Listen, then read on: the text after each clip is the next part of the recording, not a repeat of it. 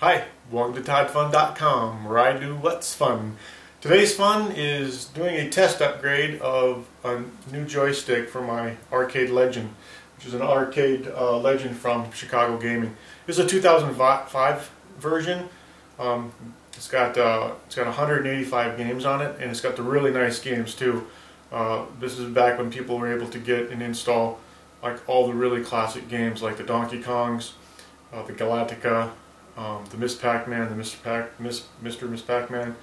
Um, essentially, you know, you know, even Dungeon's Lair, uh, Dragon's Lair, um, just all the really nice ones, and it emulates them really well on this big screen um, monitor.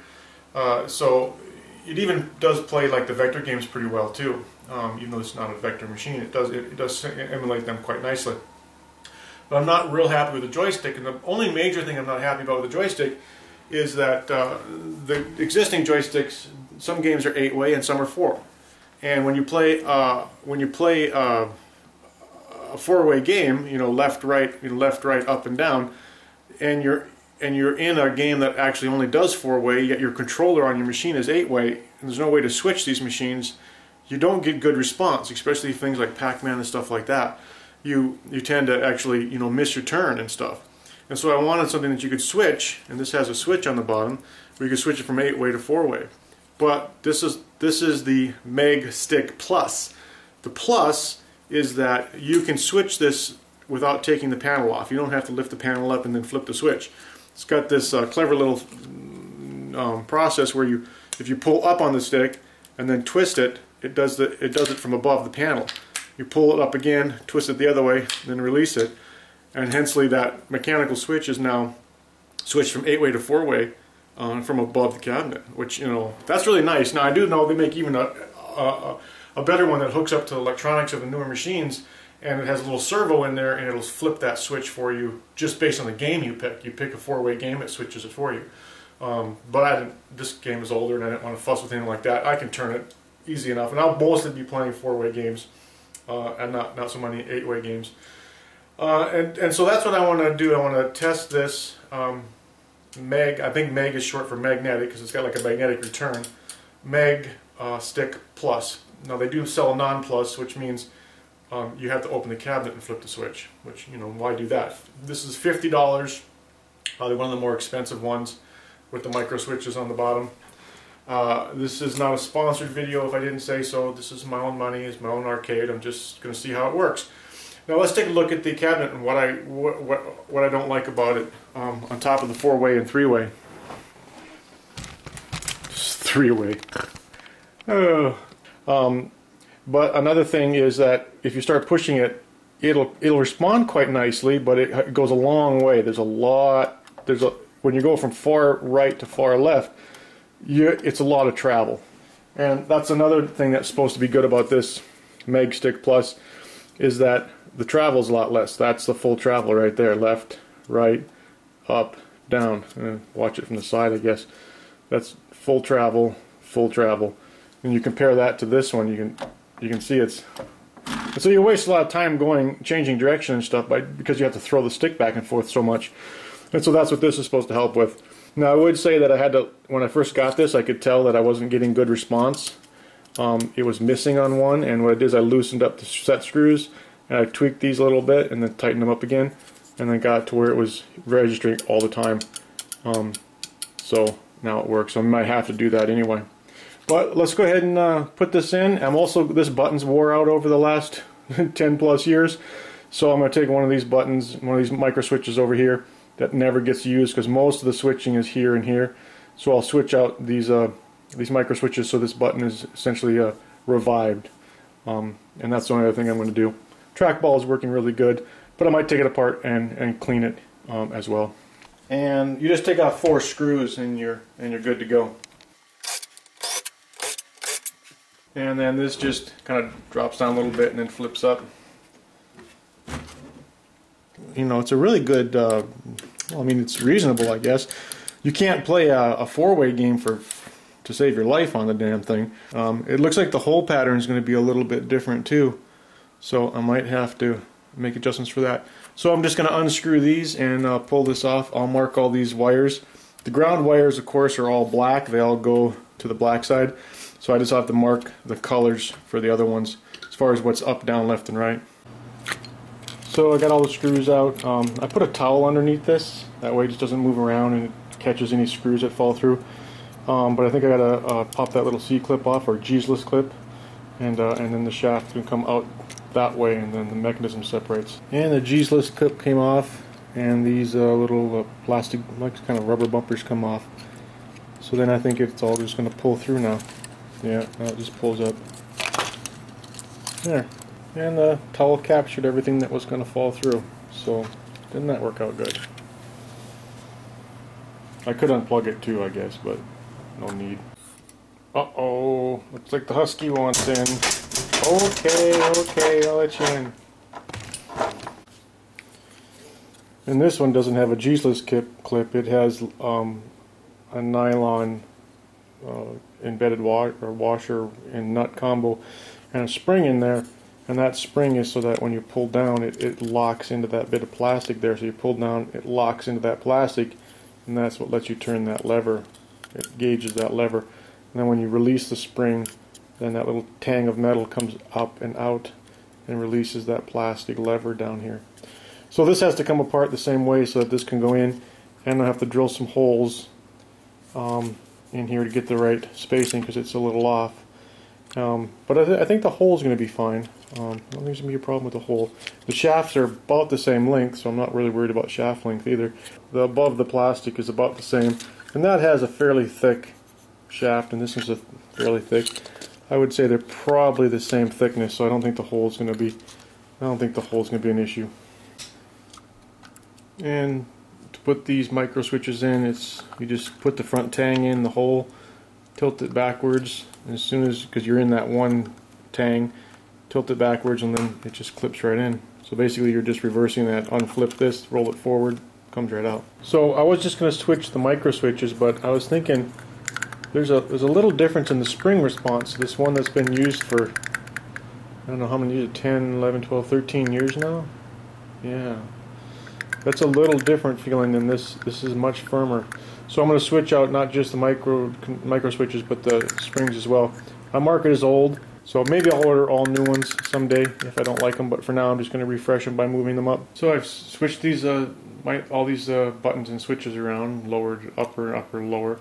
And now I got to put in this slightly smaller panel, so I got to drill two new holes. It's going to leave two holes in my panel, but uh, they're fairly clean looking on the other side, so it should be okay. Okay, 732nd drill bit is the right size for these holes.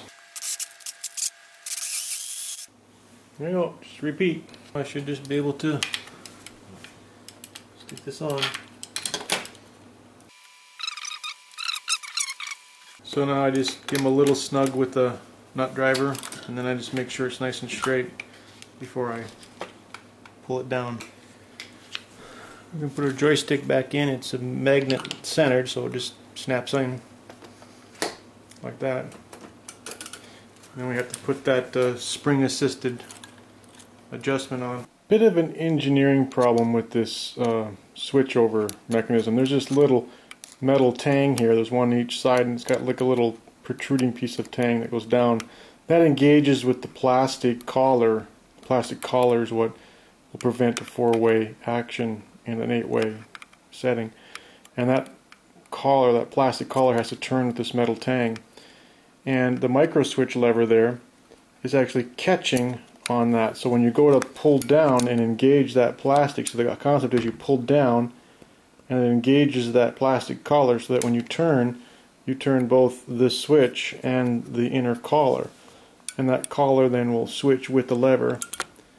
And then and then you're in eight way and you can go in any in any direction.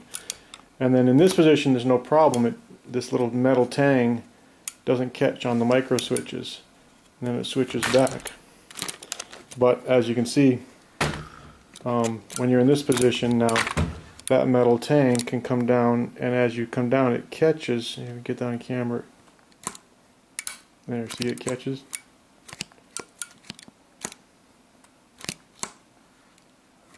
there click so what I'm going to do is I'm just going to take I'm going to take this off and I'm going to take a grinder and I'm just going to just, or I'm not a grinder, but a file, I'm going to file this a little bit more smooth, more a little bit more angled, so that it doesn't catch on that uh, micro switch lever. You can kind of see the one side wasn't catching, and it seems to be beveled a little better. And this side that was catching, it's a little more square.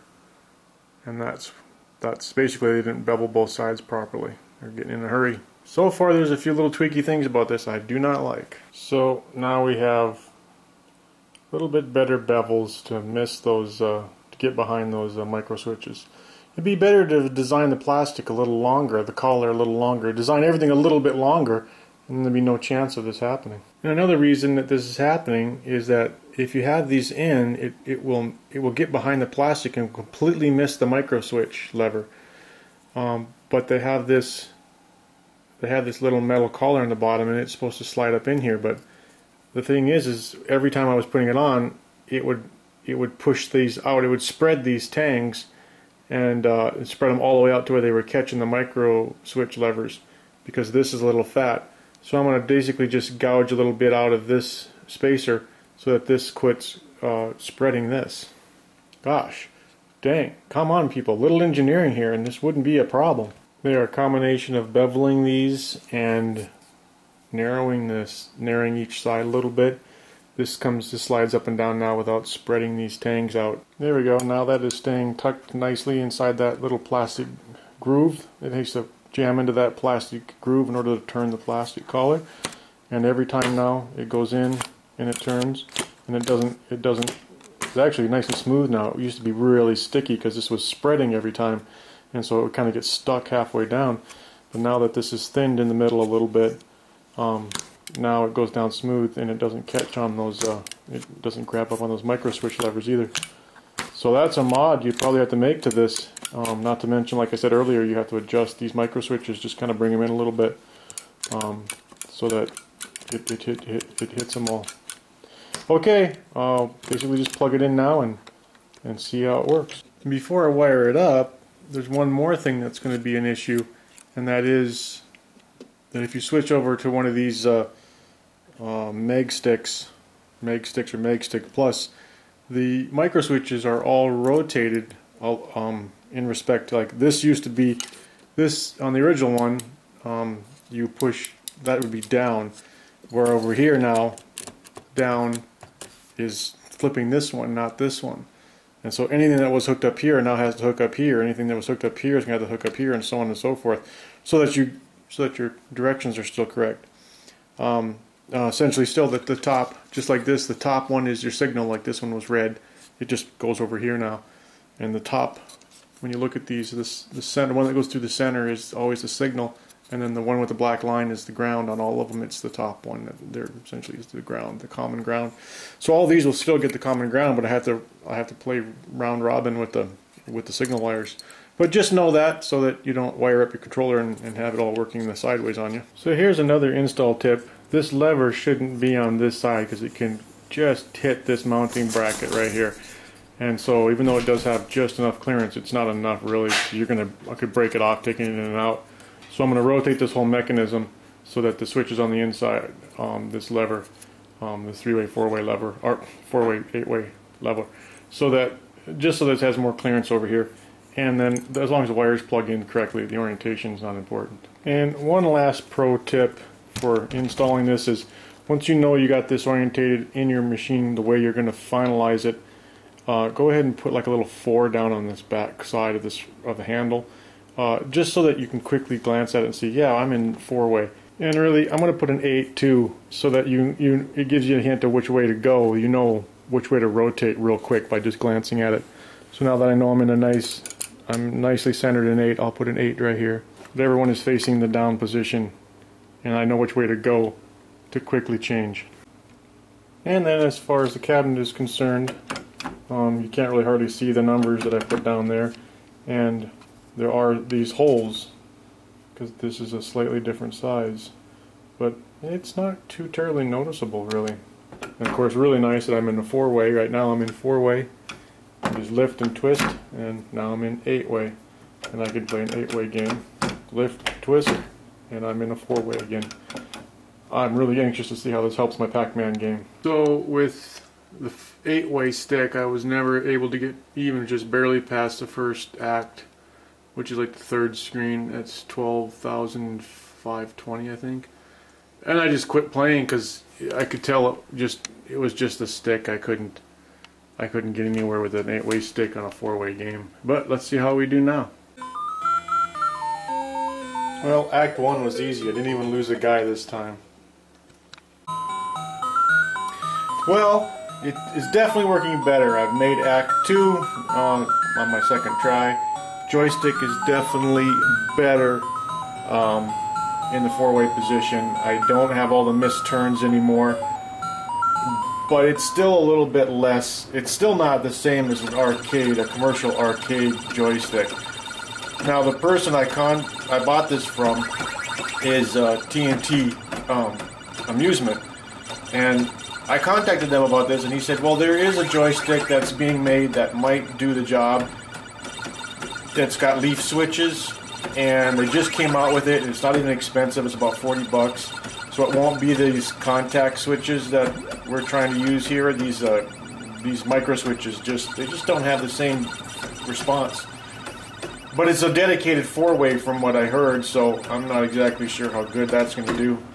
Um, but I'm going to try that next. Um, this one's definitely better. It's a big improvement.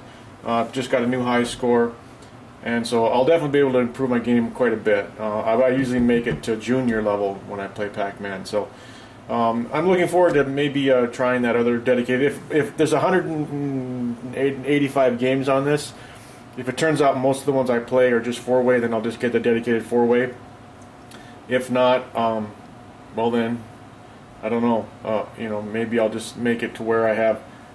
Maybe I could wire some switch up to where I could say I could switch over, and this could be set up for eight way, and this could be set up for for four way um, down here and then I could come up with some sort of a crossover wiring where I could just flip a switch, and then this would be player one, because most games I play are player one. And then if I don't flip it, then this is a true player two. But this will always be eight position, eight way, dedicated mic- uh, leaf switches, and then this one can be uh, dedicated four way leaf switches. Um, and that way, if you're playing single player, you can you can do either one. Um, and it doesn't affect. I don't play too many two, dual players anyway. So that's the plan. Um, thanks for joining. Um, having fun here uh, playing this arcade um, and all these great games. Uh, click the bell if you want notifications of upcoming, upcoming videos. Um, and click like and subscribe as usual. Thanks for joining.